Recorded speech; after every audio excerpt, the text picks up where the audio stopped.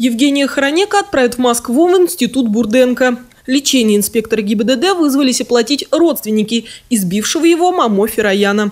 Об этом сообщила РИА Новости адвокат обвиняемого Татьяна Спиранская. Инспектор согласился на помощь. Договор на лечение на сумму 155 тысяч рублей судья приобщил к делу. Из источника близкого к семье пострадавшего инспектора нам стало известно, что изначально родственники подследственного предлагали Хоронека более крупную сумму, которую инспектор не принял.